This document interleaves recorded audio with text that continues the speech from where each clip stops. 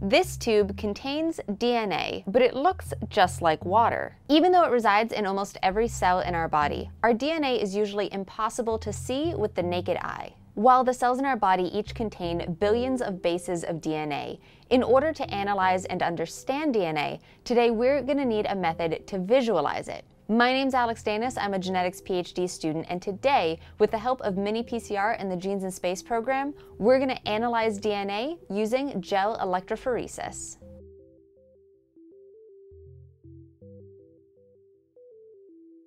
In our last video, we used PCR to investigate a food poisoning outbreak on a spaceship bound for Mars everybody affected ate both the space burgers and the space sushi. We needed to figure out which one of these foods was contaminated with a dangerous strain of E. coli. We used PCR to amplify a short piece of E. coli DNA from both of the food samples, looking for a harmful or pathogenic strain of E. coli that could be making everybody sick. But when we were done, both tubes still looked identical. So how are we going to figure out which one contains the pathogenic E. coli DNA?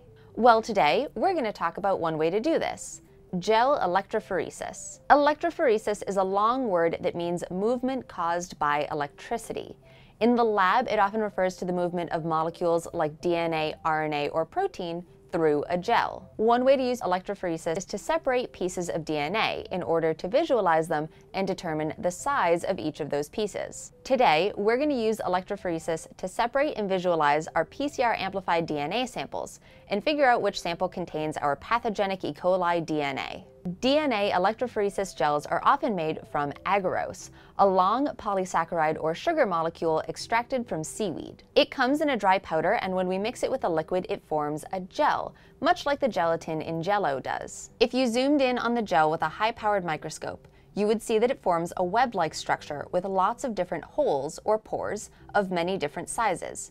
In fact, it looks a lot like a kitchen sponge, with pores of all different sizes running through it. In electrophoresis, we use electricity to push our DNA samples through the gel. There are two electrodes on our gel box. A negative electrode near one side of the gel, where we'll add our DNA, and a positive electrode near the other. When we turn the electricity on, our DNA, which is negatively charged, will be attracted to the positively charged electrode and start to move through the gel. Gel electrophoresis separates molecules based on both size and charge. When separating DNA, the negatively charged DNA backbone determines the direction the molecule travels through the gel, while the size of the DNA fragment determines the speed at which it travels. When separating other kinds of molecules, the magnitude of the charge can affect the speed at which they travel through the gel as well. Differently sized pieces of DNA will move through the gel at different speeds. Short pieces of DNA will move quickly through the gel, zipping through all of those little pores, while larger pieces of DNA will get stuck in the pores, moving more slowly through the gel. Because of this, we can use electrophoresis to separate our DNA molecules by size. It's a lot like this pegboard. There are differently sized spaces between the pegs. One ball can move easily and quickly through them, while multiple balls strung together get stuck, moving more slowly through the pegs.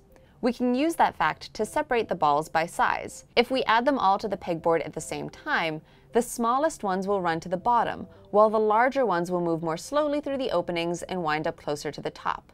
This is the same way that small pieces of DNA can move quickly through our agarose gel, while larger pieces will get hung up in the pores and move more slowly. Now, let's make our own gel to analyze our PCR samples. The first step in creating our gel is to get our mold, or casting tray, ready. On one edge of the casting tray, we'll create wells in our gel. These wells are like buckets that we will carefully load our DNA into. To make these wells, we'll use a comb. The teeth of this comb will create pockets in the gel that will become the wells once the comb is removed. Now that we have our casting tray ready, we have to make our gel to pour into it. We'll mix our agarose powder with a buffer and microwave it to fully dissolve the powder. Once it's all mixed and cooled slightly, we'll add a dye that will combine with the DNA that we run through our gel and allow us to visualize it on a special blue light box a little later. We'll pour the gel into our casting tray and let it set. Once our gel is set, we'll remove the comb, transfer the gel to our gel box, and fill the box with more buffer. This buffer contains salts that help conduct electricity through our gel. Because gel electrophoresis separates DNA molecules by size, it's really hard to tell apart two molecules of DNA of the same or very similar sizes. This may occur when the same region of DNA is amplified from two closely related species or individuals of the same species. This is true in the experiment we're running today. When we amplified E. coli DNA from our food samples looking for harmful or pathogenic E. coli, we likely also amplified DNA from harmless E. coli present in the environment. Since pathogenic E. coli has a lot of similar DNA sequences in common with other harmless E. coli species, the region we amplified is the same size in both, and therefore we cannot tell them apart on a gel without using a clever molecular trick. Before we add our DNA samples to the gel, we're going to add a restriction enzyme. When we mix our DNA samples with this special enzyme, the restriction enzyme acts like a pair of molecular scissors that cut DNA at very specific sequences. Today's restriction enzyme will recognize a specific DNA sequence only present in our pathogenic E. coli DNA and cut it, while leaving harmless E. coli DNA uncut. This means that when we visualize our DNA samples on the gel, we will be able to distinguish our pathogenic E. coli DNA, which will be cut into two small pieces, from harmless E. coli DNA, which will appear as one large fragment.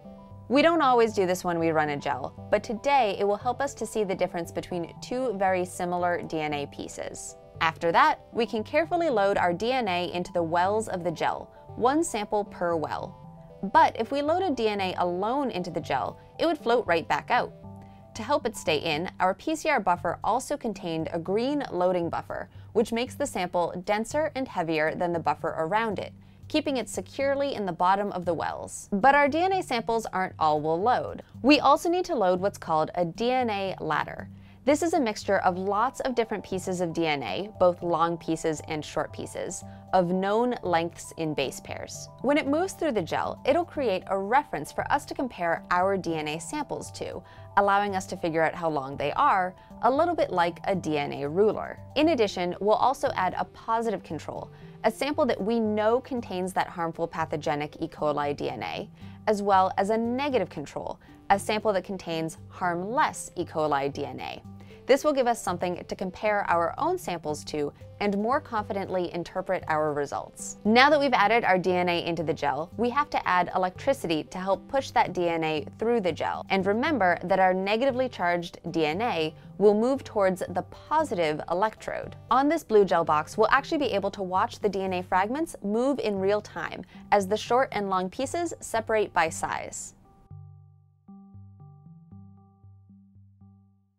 Now, let's look at what we see on our gel.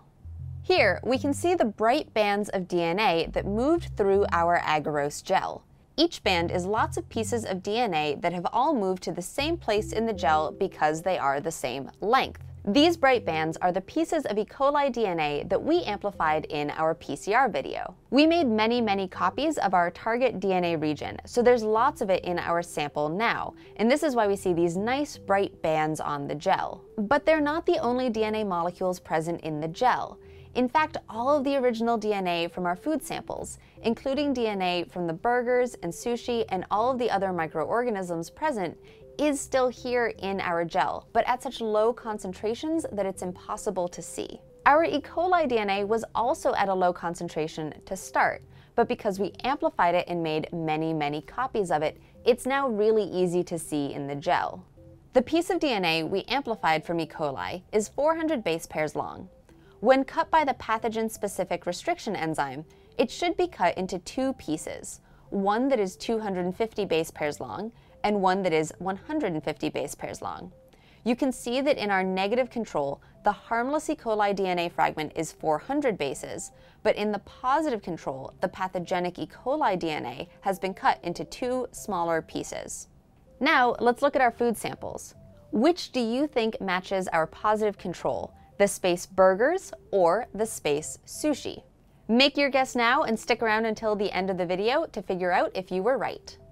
Electrophoresis is really useful when we're trying to separate and visualize DNA in the lab. It can tell us how big pieces of DNA in our sample are, and also whether or not a certain target region was present in our DNA sample. It can also give us an estimate of how much DNA there is. All of these measures can be really important when we're trying to analyze DNA. Often, that DNA is obtained using some other kind of biology technique, like PCR, and electrophoresis can help us to analyze the results. Electrophoresis provides a visible readout for PCR as well as other important laboratory techniques, like DNA cloning, DNA fingerprinting, and more. And it doesn't stop at DNA.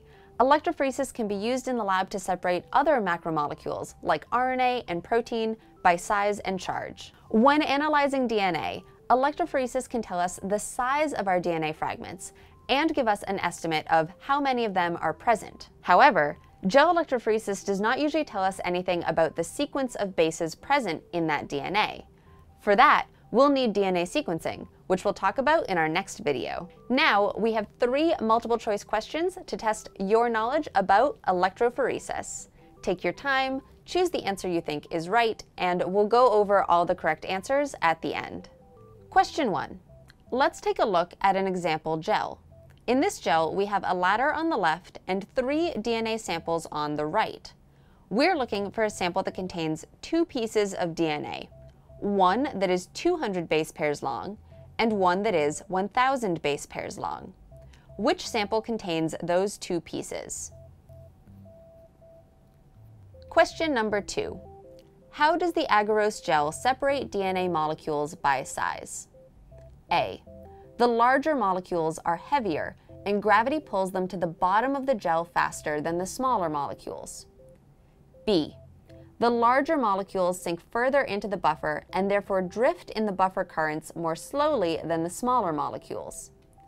C. The larger molecules can't fit through many of the pores in the gel and move through the gel more slowly than the smaller molecules. Question 3. You load the following DNA samples on a gel. Lane 1, a longer DNA fragment of 600 base pairs. Lane 2, a shorter DNA fragment of 300 base pairs. Lane 3, both DNA fragments, 600 base pairs and 300 base pairs. Which of the following pictures best represents what your gel will look like after 20 minutes of running the electrical current?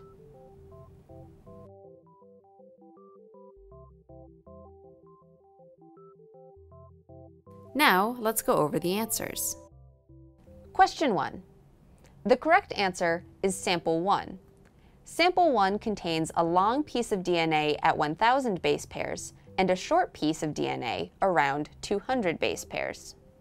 Lane 2 is incorrect because although it has two bands, they are 200 base pairs and 300 base pairs long. Lane 3 is incorrect because it has only one band that is around 1200 base pairs in length. Question 2. The correct answer is C.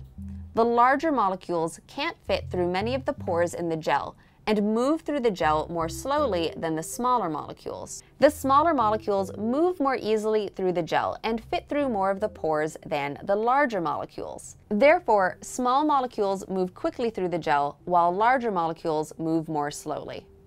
Question 3. The correct answer is C. The longer 600 base pair band will take longer to run through the gel, so it will be closer to the top after 20 minutes than the shorter 300 base pair band. This is why A is not correct. B is not correct because the width of the band is determined by the width of the well in the gel, not the size of the DNA fragment.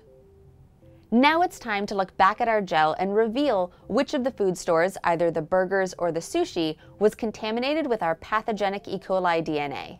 As you can see, our space sushi sample has a 400 base pair band and matches the harmless E. coli control but the space burger sample has two shorter bands and matches the pathogenic E. coli sample. This means the space burgers are the food poisoning culprit. Time to jettison them out the back of the spaceship before anybody else gets sick.